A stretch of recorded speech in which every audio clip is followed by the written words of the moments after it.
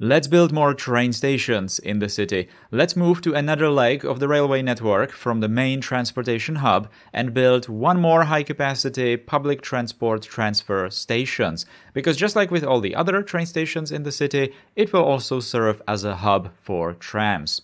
Hello and welcome everyone to Asturis City in City Skylines.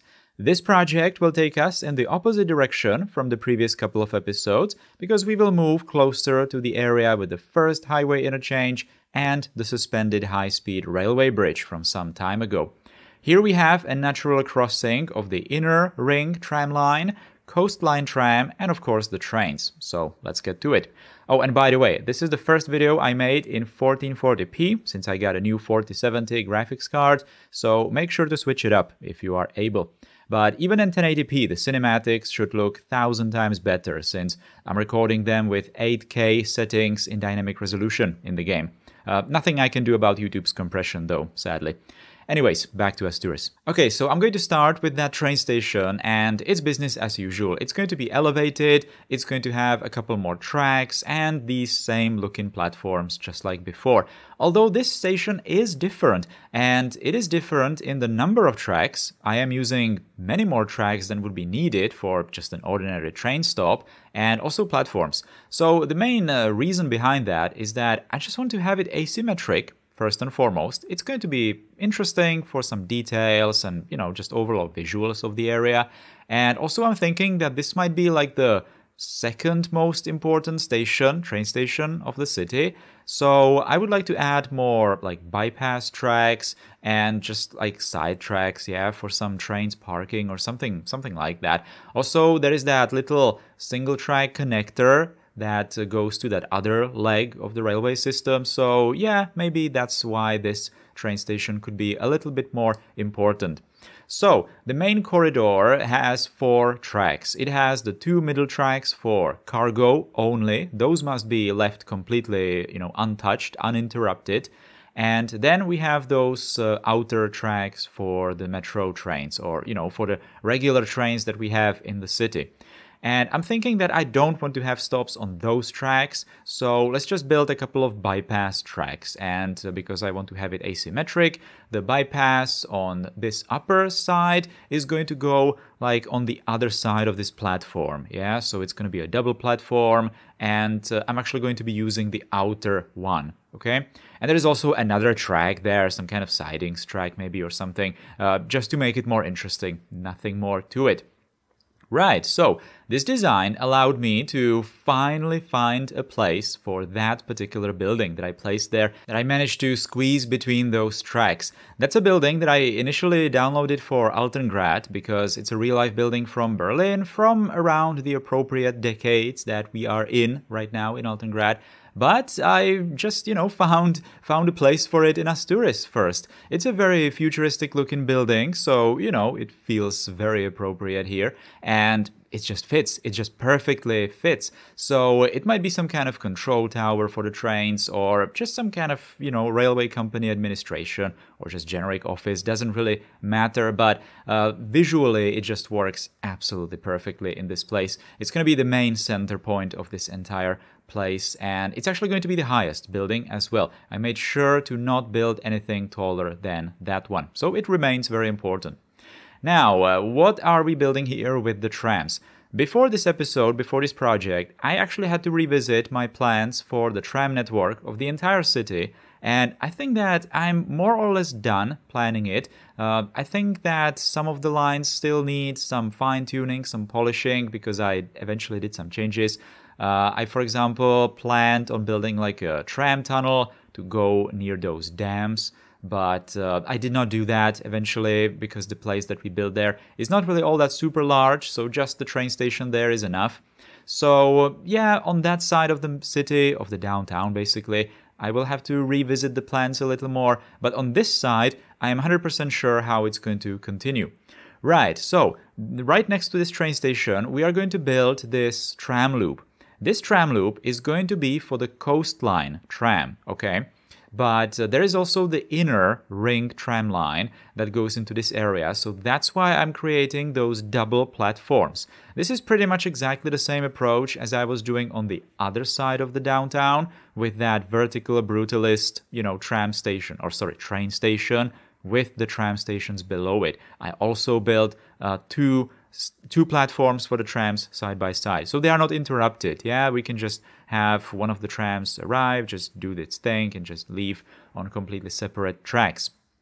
Exactly the same thing here, except one of those, the coastline, uh, coastline line is going to terminate here and it's just going to turn around in that loop and continue uh, continue in the opposite direction. And this finally leads me to the main motivation of this project, why I even decided to go here, because this place is actually kind of disconnected from the rest of the city. There are plenty of other projects that I have in mind right now that I could just do right on the edges of the finished area. So why am I in, in the open here? Well, it's because I really want to start doing the first person rides and the coastline track is actually almost done. The only place that needs to be done, needs to be finished, is, well, this area that we are here right now. So, some kind of a terminus station for that coastline track. So that's exactly what the loop is for. I really don't want to take this track anywhere further. At least, well, at first I thought I'm just going to take it past the highway interchange, you know, through it or somehow. I think I talked about it with that highway interchange. Uh, the city is just not going to continue in that direction anyway, so might as well end this track over here. The the ring line doesn't really need doubling on the on these tracks, so yeah, that's exactly why the loop here makes so much more sense. So the main goal for today is to just create the scenery around the tracks. That is why it doesn't really need to be connected to the rest of the city just yet, this project. It uh, doesn't really need to be complete on the edges. It's actually going to be super rough on the edges.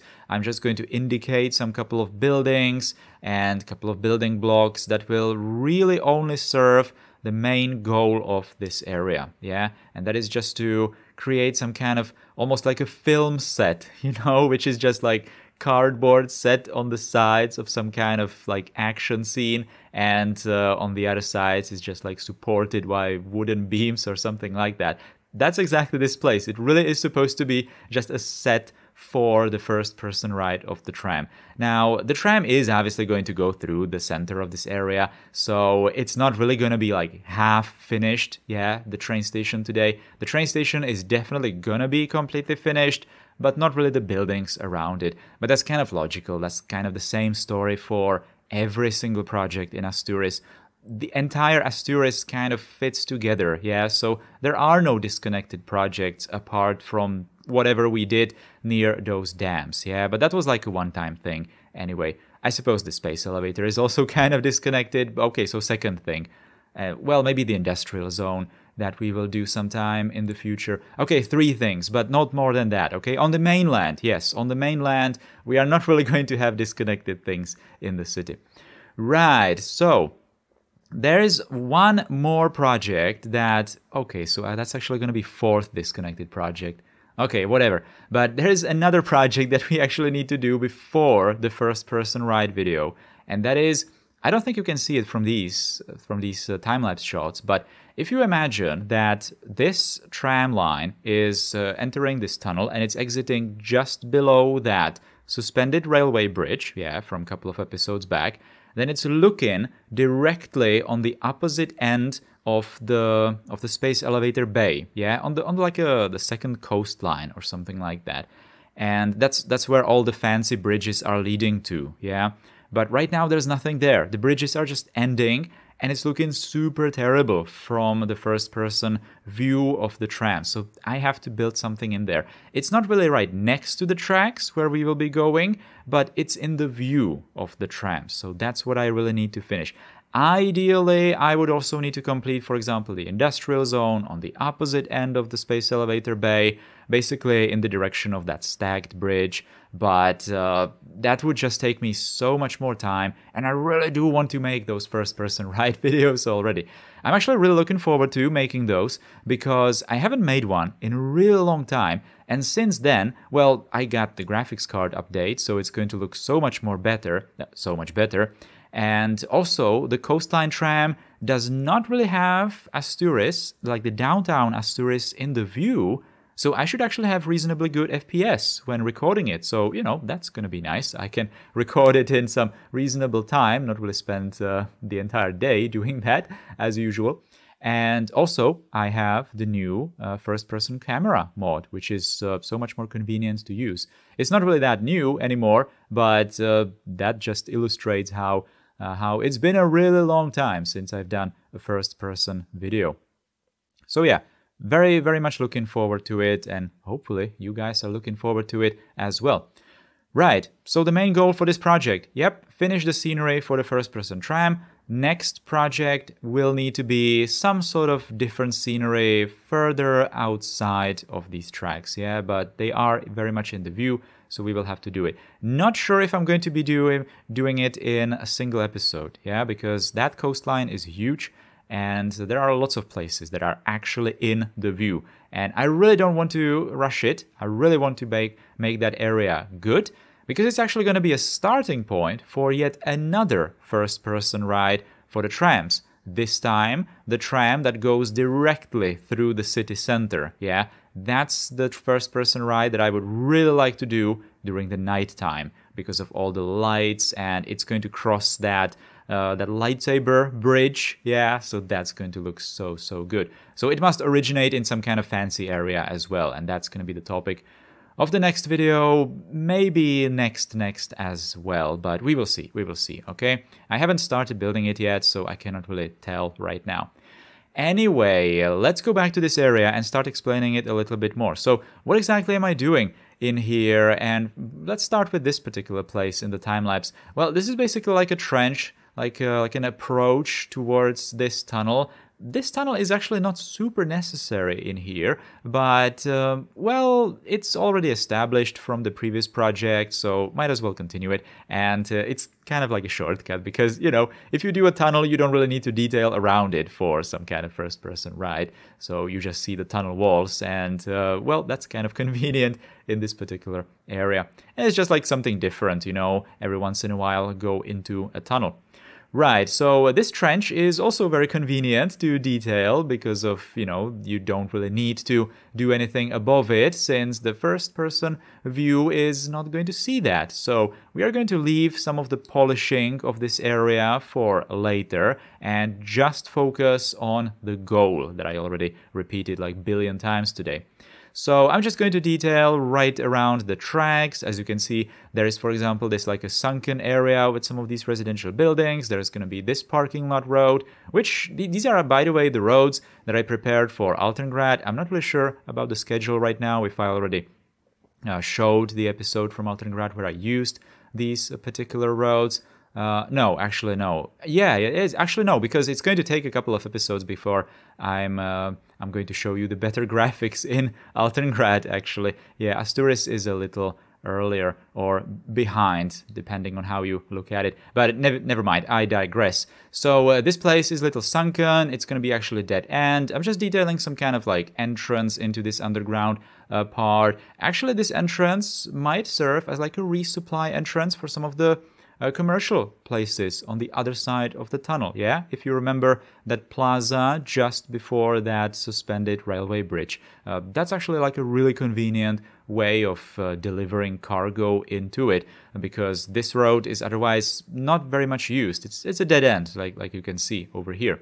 So above the trench in here, I'm just going to place a couple of these buildings. These are kind of going to be visible from the first person view, so we have to do it. And uh, well, since we already have some kind of verticality going on over here, might as well somehow connect it with, for example, these pedestrian paths. These buildings already have, uh, it looks like some kind of glass, huge glass windows, uh, probably as part of some kind of staircases at the fronts of the buildings, so it might as well be connected with these pedestrian paths to the same level of, uh, of the terrain over the trench because it just creates something interesting in the area. It kind of breaks the trench because the trench is kind of long and it's also kind of deep, yeah. So just doing these uh, pedestrian paths over it, you know, might as well. Now, doing some details, doing some ends to these pedestrian paths, I'm basically making them go to these parking lot roads, which are also dead end. Oh, by the way, the main point why most of the roads around this area are dead end, not this sunken one though, but the rest of them, is that the train station area is completely pedestrian only. Yeah? The main road that cuts through this place is underground. I, I have to admit, I was taking some inspiration from some research from Altengrad and especially from some German cities that I was kind of studying for some unrelated things. And there are a couple of places, actually, quite a lot of places, where some of the main avenues are led down to these uh, very short tunnels underneath some pedestrian places or like uh, main areas where it would be just kind of clunky to you know take it through them. So yeah that's exactly the same situation over here. I'm just going to take that main avenue down. It's not really an avenue. It's just a uh, just a road really. Just a connecting road into different parts of the city. This part of the city I should probably explain that also is not really going to be that dense, so traffic is going to be kind of manageable. But still, some kind of a surface road would be kind of clunky to just uh, intertwine with all the all the tram roads and uh, the pedestrian paths because there's there are quite a few, yeah. And obviously combined with the train station, as you can see, there will have to be some kind of like vertical also connections, you know, stairs, elevators, and just adding a road into the equation would make it much more difficult. So let's just go underground, you know, it's just adding to some vertical feel of the place. So yeah, like no problem with that whatsoever. It's actually very, very welcome. Right, so these kinds of entrances to the platforms. Um, I'm just going to do these stairs once on the side of it because there is the space for it, but everywhere else we don't really have the space, so I'm just going to do the usual elevators. I am using, using the usual elevators because uh, it's pretty much the only one that I have. I have one more, but it's transparent. I'm actually going to be using it here as a decoration on the side of the stairs, but we cannot really have like actual gameplay pedestrians walk through it because yeah, you would just see how terrible it looks. So I'm just going to be using the, the good old elevators everywhere else. Uh, I like them. Yeah, sure, they are getting a little repetitive in the city, also because I I heavily used it in Aurelia previously, but uh, you know it's just an elevator. It's okay, and it's actually nice that it's like a unifying element to some of these projects. Uh, did I talk about this before? But uh, in case I didn't, this is uh, this is what I was talking about. In case I did, uh, just doubling this building and putting some kind of decorations on the roof. These kinds of I, I think that these are vanilla dishes. I'm just making them very oversized with uh, prop anarchy and also some kind of Ronyx's, I believe, antennas on the on the roofs it's not particularly tall building, but it is the tallest building in the area. So it makes sense to have some of these. And if it's some kind of control tower for the railways, then yeah, that's just also making sense. But again, most importantly, it's just a decoration. It looks nice.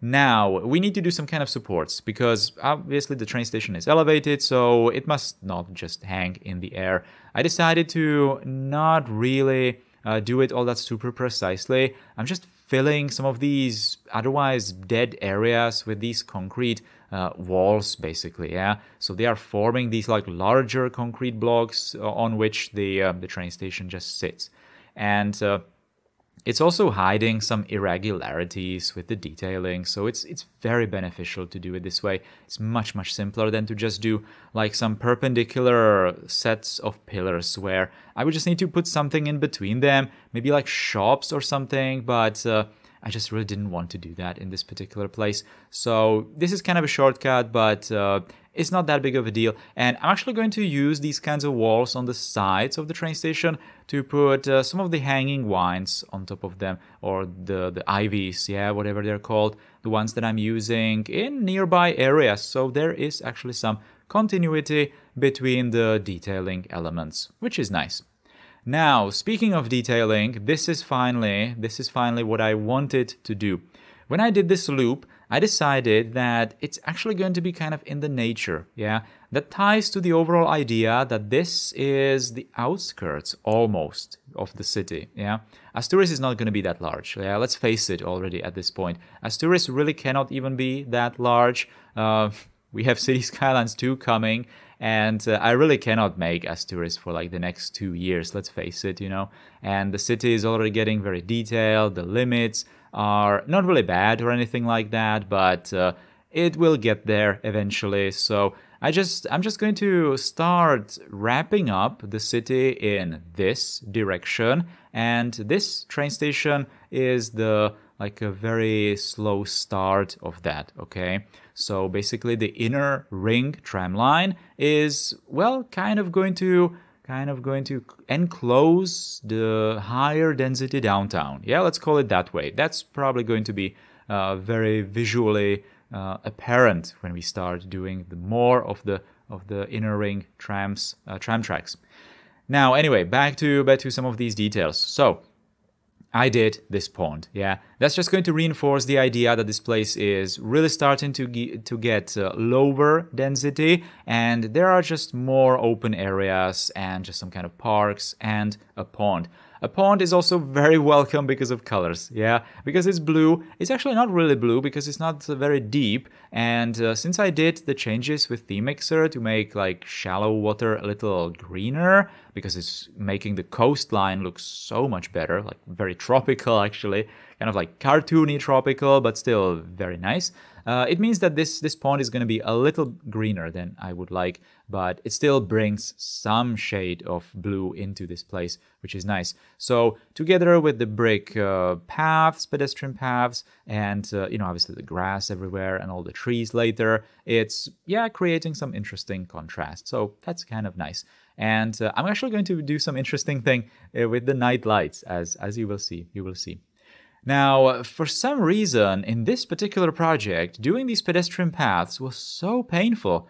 Uh, I did some kind of mistake, so it's kind of on me, but some of these pedestrian paths were snapping like crazy to the train station's uh, tracks. Uh, I never saw them do that before. I actually usually struggle with paths not snapping to the tracks. If you if you have seen that tutorial video where I talked about creating the custom uh, stations, then you could have seen that the paths don't really want to snap to the tracks unless you actually force them to. But in this project, they were snapping left and right, up and down, actually, mostly. And that was super annoying. I spent hours doing that. Well, not really hours, maybe like an hour. But still, it, was kind of unusual. I'm not really sure if I'm doing something wrong. Uh, it's been some time since I've opened Asturis. I've been mostly doing Altengrad projects uh, like in advance right now. But still, I don't know what happened, but uh, well, it was kind of a pain.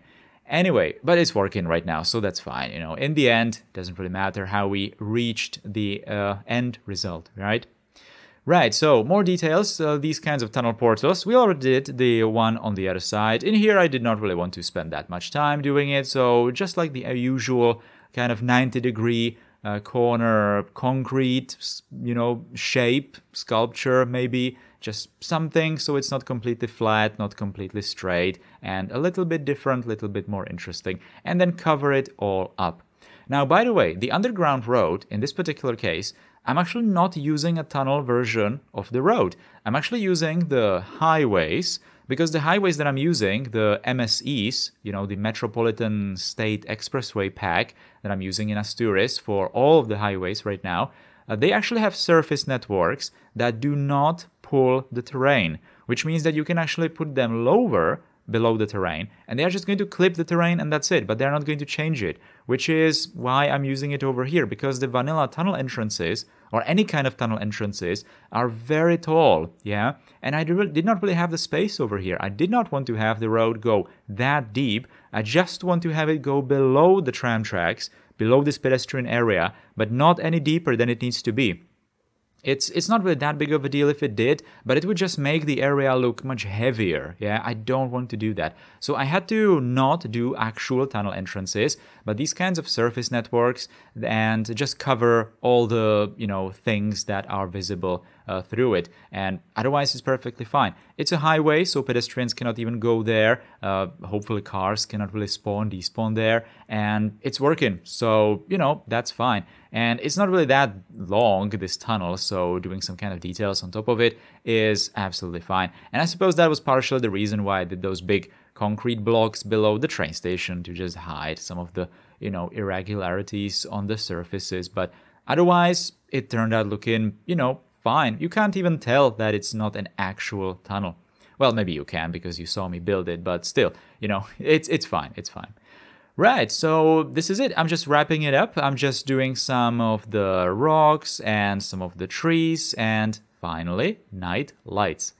Right, so this train station building, let's make it shine red, okay? Because I can, because why not? There are no other colors in this area. This is not a particularly high density area. Like I said, we are on the outskirts, maybe like like a border between outskirts and suburbs actually. So I don't really want to plaster these buildings with ads, but we can still do some kind of interesting colors. And there I was doing like a little thing that's actually looking surprisingly good. And that is, I put lights, blue lights, very deep below the bottom of that little pond. It's not really going to illuminate the water because water is just not reflective to light in this game and it doesn't even display shadows or anything like that. But uh, it's going to illuminate all the rocks and the tram tracks, for example, even the trams when they are running over it, but very lightly, very dimly. Yeah, so there's going to be like this blue glow as if the pond was somehow radioactive or something like that. Yeah, I think I actually, as part of this project, I think I actually did that even for the bay, you know, with, with the marina. So I'm not exactly sure because we already built that. I already did cinematics from that. Uh, so I'm not exactly sure how to show you like which project am I going to do nearby that I can uh, show you that place. But maybe it can be visible from some kind of first person ride. Uh, now that I think of it, maybe the coastline tram, maybe I'm going to do like a daytime ride in one direction and nighttime in the opposite direction. That might actually look good. But I will see. I will have to, you know, tweak some nighttime graphics because they are not exactly optimal right now. But we will see. We will see. You know, it's it's kind of in the future still before I do that, so I can always, you know, add it later. Anyways, these are all the finished cinematics. I'm really satisfied that I was managed to do this place kind of low density in the end, or like medium density, yeah? Because we really need to do that transition into some kind of suburbs, I suppose. I don't really want to end the city like suddenly, you know, just high density, high density, and then bam, farmlands or something. No, I would like to do some kind of suburbs to exactly do these kinds of shots, yeah? So we can just see the city like getting taller to the center. I think that's going to look much better. And you can see here the glow of the pond. Oh yeah, that's that's looking kind of good. And that red, almost like evil looking uh, train station building. Yeah, kind of like an evil villain lair or some something like that. But anyway, that is going to be it for today's Asturis episode. Thank you guys for watching it. Hope you liked it. Please, if you did, do all the things below the video the clicking, writing, subscribing, sharing, and these kinds of things. And huge thanks to all the channel members that this channel currently has. I really appreciate all your direct support. Thank you for supporting me and what I'm doing over here. If you want to become channel member as well, you can do so through the links and the button below the video. Take care and goodbye.